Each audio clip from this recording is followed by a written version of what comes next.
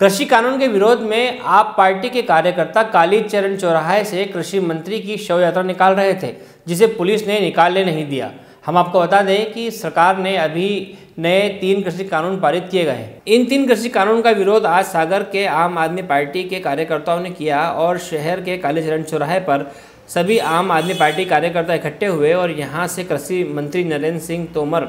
की शव यात्रा निकाल रहे थे, लेकिन पुलिस ने उन्हें शव यात्रा नहीं निकालने दी। इस दौरान आम आदमी पार्टी कार्यकर्ताओं ने कृषि मंत्री नरेंद्र तोमर के मुर्दाबाद के नारे लगाए और प्रदर्शन किया। सागर से अनिल वर्मा के साथ सलमान कुरैशी की रिपोर्ट। देश का अन्नदाता किसान जो पूरे देश का पेट भरता है, आज अपनी जायज़ मांगों को लेकर पिछले 50 दिनों से हड्डी कपाने वाली ठंड में बारिश और मावट के